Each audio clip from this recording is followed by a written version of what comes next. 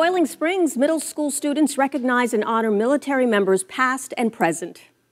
It's great, the program that they're doing, the, the orchestra and everything, and I happen to have two grandsons here too, and that adds to it just a little bit, but we, we appreciate what District Two does throughout all the schools.